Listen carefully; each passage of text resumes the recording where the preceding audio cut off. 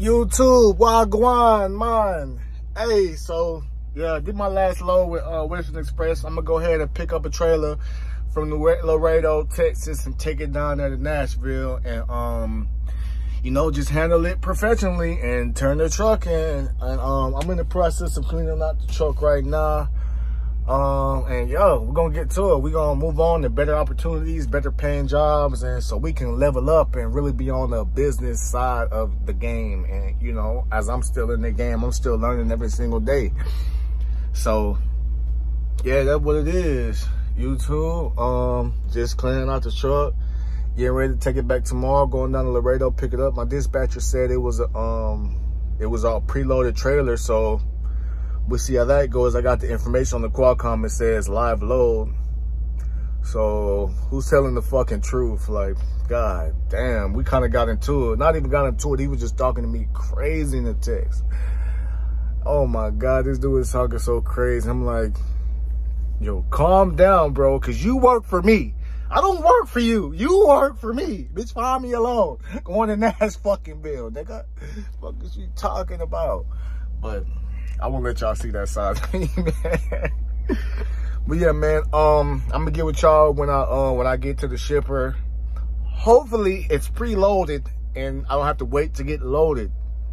But we'll see. If it's loaded, I'm going back home and y'all gonna have to pick up the truck. I'm gonna just say the truck doesn't start. It's not starting, so come get it. I'm not taking it. yeah, man, hey. I'll get back up with y'all tomorrow, man. So guess what, man? I was hoping that the my dispatcher didn't lie, and guess what? He lied. So, um, I'm just finna um tell him the truck won't start and come get it, bro. Cause nah, man, it's honestly ridiculous, man, and it's really like you know what I'm saying, kind of making me upset. You know what I'm saying? I'm kind of down uh, with the fact that um, I have to like basically start over with a new company and stuff like that. And another reason I live in my truck. So it's like, damn, I'm basically giving back my house and shit like that. But um, it is what it is, man. I'll be back in work within a week. So I'm not really worried about that. Finding a job is not hard. I got companies calling me left and right, texting me, going crazy. So I got a couple drug tests I got to take today. So I'm to go do that. Go handle some business, make some money, probably do some DoorDash and stuff like that. And um, I'll keep y'all posted, YouTube. Peace. Keep trucking. Truck life or no life. The right time